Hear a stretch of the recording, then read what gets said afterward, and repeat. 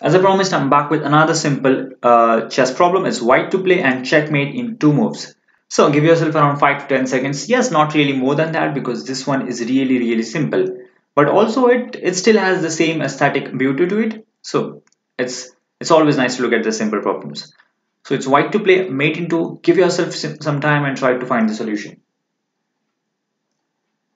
Okay, as my audience is quite uh, quite educated, very very well read, very very strong.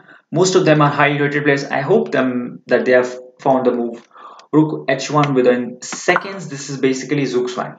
So if black takes our pawn, then we have rook takes on h3. That's a mate.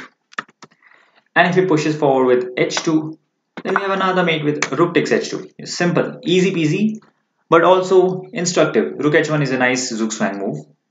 Simple one, but also instructive. So thank you for watching. Do subscribe to my YouTube channel.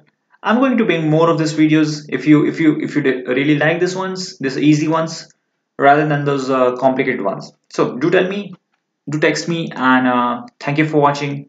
Bye.